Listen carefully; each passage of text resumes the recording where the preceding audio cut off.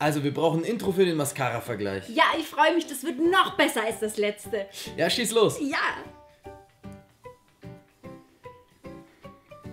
Ah, ich hab's. Nee, doch nicht. Ah, ich hab's. Ah, nee, vergiss es, vergiss es. Ah, warte, wir könnten. Ah, nee, das ist auch schlecht. Überleg weiter. Also, wenn man. Nee, vergiss es, vergiss es. Eine singende Mascara. Singend. Ah, ich glaube, ich habe die Idee. Wir... Nee, das funktioniert nicht. Andere ist nicht zu toppen. Hi, ihr Wundervollen. Ja, ungefähr genau so lief es wirklich bei uns ab. Wir haben uns den Kopf zerbrochen, aber wir konnten einfach das letzte Intro nicht toppen. Deswegen verlinke ich euch hier nochmal meinen letzten Mascara-Vergleich. Schaut unbedingt rein. Das Intro hat mir so viel Spaß gemacht oder uns so viel Spaß gemacht. Es ist wirklich witzig geworden. Ich schaue es mir selber gerne an, wenn ich mal schlecht drauf bin. Also klickt euch unbedingt rein. Und jetzt würde ich sagen, legen wir los mit dem Teil 2 von meinem Mascara-Vergleich. In diesem Mascara-Vergleich habe ich sowohl High-End-Mascara als auch günstige Drogerie-Mascara vereint. Und die erste Mascara ist von Clinique, die High Impact Extreme Volume Mascara. So sieht die aus.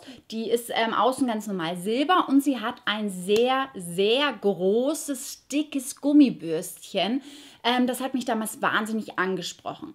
Ich finde, bei der Mascara ist es so, dass sie ähm, sehr, sehr schmierig ist von der Wimperntusche selber. Das macht sie, finde ich, ein bisschen schwierig so zu tuschen und sie verklebt auch die Wimpern. Das sieht man auch bei dem Foto, finde ich, ganz gut. Sie verklebt wirklich die Wimpern ein bisschen, sie trennt sie nicht so gut, aber sie schenkt ganz gut äh, Länge, finde ich. Also sie heißt ja eigentlich High Impact Extreme Volume. Das finde ich gar nicht so sehr. Ich finde eher, dass sie Länge schenkt.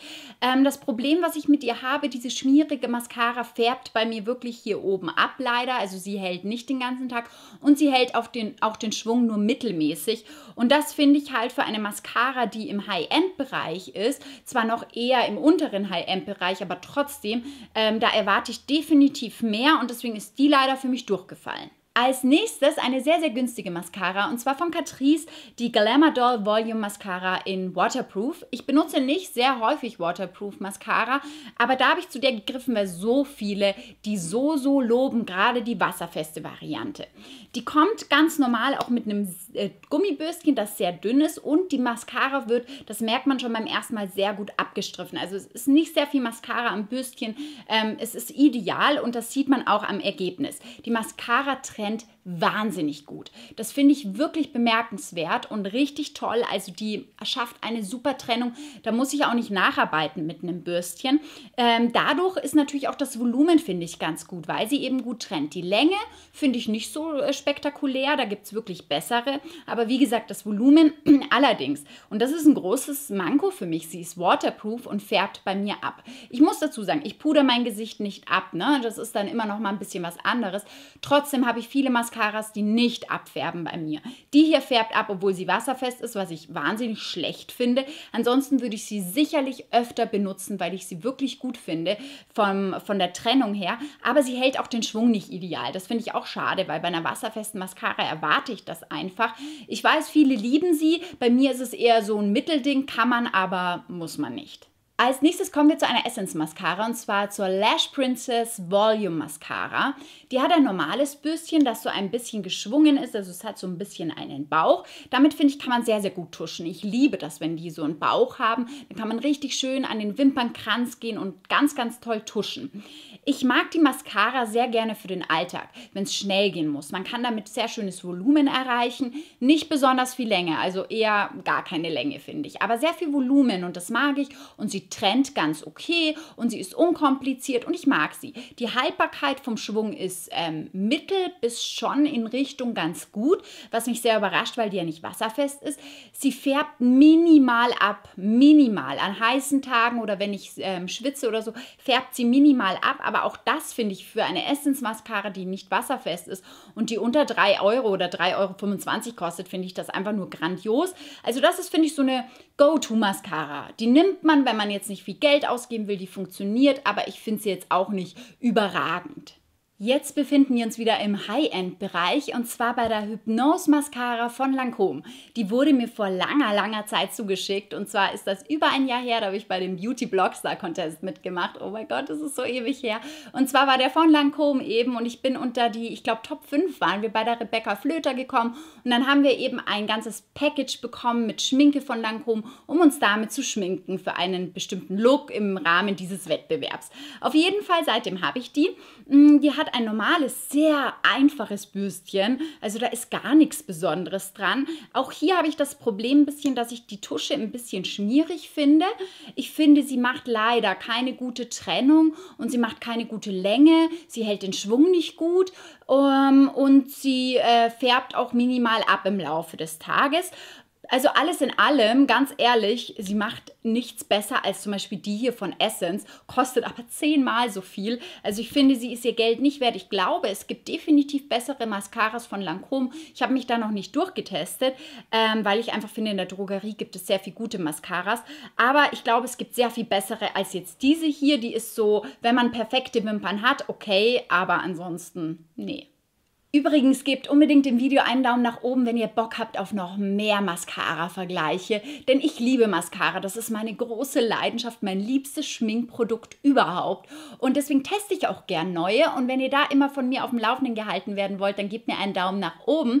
Und jetzt machen wir weiter mit P2. Das ist eine Marke, von der ich sehr, sehr selten Mascara kaufe. Aber die hat mich damals sehr angesprochen. Und zwar ist das die Sophisticated Volume and Stretch Mascara. Und die hat mich vor allem wegen dem Bürsten Gummibürstchen angesprochen. Das ist ein sehr bauchiges Gummibürstchen, das vorne auch nochmal Noppen hat. Und ich muss sagen, man kann mit diesem Bürstchen so gut tuschen. Das ist der absolute Wahnsinn. Sie greift wirklich jedes Härchen und mit diesen Borsten vorne kann man richtig außen nochmal und innen tuschen. Also das Bürstchen finde ich einfach nur genial. Allerdings ähm, bekommt irgendwie das Bürstchen oder ja, man bekommt mit dem Bürstchen nicht genug Mascara auf das Auge, finde ich.